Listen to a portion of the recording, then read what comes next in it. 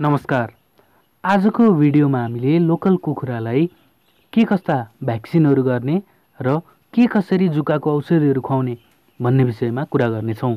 यो भिडियोलाई अन्तिमसम्म हेर्नुहोला।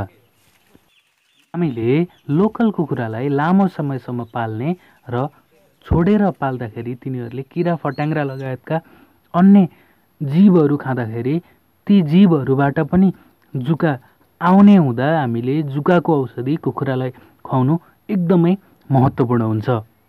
अब जुकाको औषधि त खुवाउने तर के कसरी कुन तालिकामा खुवाउने त भन्ने विषय बुझ्नुभन्दा अगाडि हामीले लोकल कुखुराको छालामा पेटमा आन्द्रामा साथसाथै श्वास नलीमा समेत जुकाहरू देखिने हुन्छ। त्यसकारण हामीले कुनै एक जुकाको औषधि मात्रै खुवाउनुभन्दा पनि विभिन्न खाले जुकाको औषधिहरू क्रमैसँग खुवाउनु पर्ने हुन्छ। आउनुहोस् यसै सम्बन्धी एउटा तालिका छ त्यो तालिका हेरौँ। यो तालिकामा देखाइए अनुसार हामीले तिन प्रकारका भिन्न भिन्न जुकाको औषधिहरू लोकल कुखुरालाई खुवाउँछौँ।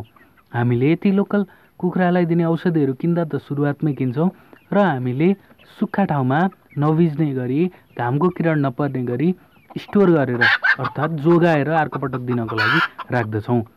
सबभन्दा सुरुमा अर्थात् एक महिना पुगिसकेपछि हामीले एक ग्राम लिभामिसोल दुई लिटर खानेपानीमा मिसाएर कुखुरालाई दिन्छौँ। त्यसको पैँचालिस दिनपछि हामीले चारवटा कुखुरा बराबर एक मिलिलिटर एल्भेन्डाजोलको झोल मिसाएर खानेपानीमा दिन्छौँ। एक सय पच्चिसौँ दिनमा हामीले प्रति सय कुखुरा चालिस मिलिलिटर पिप्राजिन खानेपानीमा मिसाएर दिन्छौँ। त्यसपछि हामीले कति दिनसम्म कुखुरा पाल्छौँ? पैँचालिस पैँचालिस दिनको फरकमा हामीले यी तिन खाले कुखुराका औषधिहरू दिने गर्दछौँ।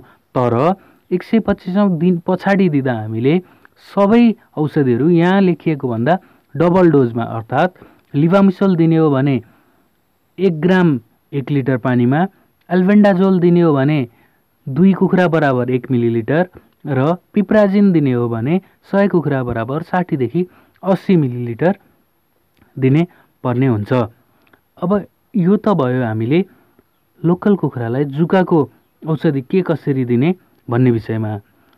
लोकल कुखुरालाई जुकाको औषधिका साथसाथै हामीले राम्रोसँग भ्याक्सिनेट पनि गर्नुपर्ने हुन्छ अर्थात् भ्याक्सिन पनि दिनुपर्ने हुन्छ। यसरी हामीले भ्याक्सिन दिँदा कुनै भ्याक्सिनहरू आँखामा थोपा हालेर दिन्छौँ कुनै भ्याक्सिनहरू हामीले खाने पानीमा दिन्छौँ कुनै भ्याक्सिनहरू सुईको माध्यमबाट पनि दिने गर्दछौँ। अबको दोस्रो तालिकामा हामीले के कस्ता भ्याक्सिनहरू कहिले कहिले कसरी कसरी दिने भन्ने विषयमा एउटा तालिका छ त्यो तालिका हेरौँ। हामीले विभिन्न प्रकारका रोगहरूबाट बचाउनको लागि लोकल कुखुरालाई पनि विभिन्न भ्याक्सिनहरू दिने गर्दछौँ। हामीले यसरी भ्याक्सिन दिइसकेपछि भ्याक्सिन फेलियर नभएको अवस्थामा हाम्रो कुखुरा ती रोगहरूबाट बच्ने हुन्छ। हामीले रानीखेत फलपक्स आइबिडी लगायतका रोगहरूबाट बचाउनको लागि तिनीहरूको विभिन्न स्ट्रेनको भ्याक्सिन दिने गर्दछौँ। उदाहरणको लागि हामीले सुरुको दिनमा मरेक्स रोग विरुद्धको भ्याक्सिन ह्याचरीबाट नै लगाएर पठाएको हुन्छ। त्यसपछि हामीले पहिलो हप्तामा अर्थात् पाँचौँ दिनमा रानीखेत विरुद्धको बिवान भ्याक्सिन आँखामा अथवा नाकमा थोपा चुहाएर दिन सक्दछौँ भने दोस्रो हप्ता अर्थात् बाह्रौँ दिनमा हामीले गोम्बर रोगको लागि आइबिडी इन्टरमिडिएट भ्याक्सिन आँखामा अथवा मुखमा थोपा चुहाएर दिनुपर्ने हुन्छ।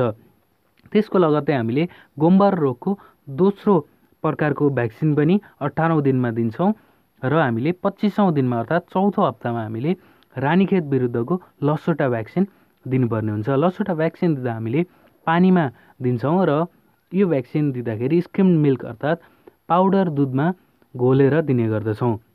हामीले यी भ्याक्सिनहरू दिँदा पानीमा भ्याक्सिनहरू दिँदा के कस्ता कुराहरू ख्याल गर्ने भन्ने विषयमा यो भिडियोको अन्तिममा पनि कुरा गर्नेछौँ। त्यसपछि हामीले हाम्रो लोकल कुखुराको लागि सबैभन्दा घातक रोग फल पक्स विरुद्धको भ्याक्सिन पखेटामा कोपेर हामीले बयालिसौँ दिनको दिनमा दिन्छौँ। र त्यसपछि हामीले पचहत्तरौँ दिनको दिन अथवा एघारौँ हप्तामा फेरि लसोटा भ्याक्सिन मासुमा कोपेर दिने गर्दछौँ। त्यसपछि हामीले प्रत्येक पैँचालिस दिनको फरकमा रानीखेत विरुद्धको नै भ्याक्सिन दिइरहनु पर्ने हुन्छ। हामीले जहिले पनि भ्याक्सिन दिनुभन्दा अगाडि नै हाम्रो कुखुरालाई जुकाको औषधि दिएर हाम्रो कुखुरामा जुका नभएको चाहिँ हामीले निर्कुल गर्नुपर्छ र यदि हामीले भ्याक्सिन दिँदैछौँ भने त्यो भ्याक्सिन दिइरहेको पानीमा अन्य कुनै औषधिहरू पनि मिसाउनुहुन्न र त्यो पानीमा हामीले कुनै पनि प्रकारको पानीलाई सफा गर्ने कुराहरू पनि हाल्नु हुँदैन र हामीले दिएको भ्याक्सिन कुखुराले आधी घन्टादेखि एक घन्टाभित्रमा खाइसकुन् भन्ने कुरा पनि विश्वस्त हुनुपर्दछ।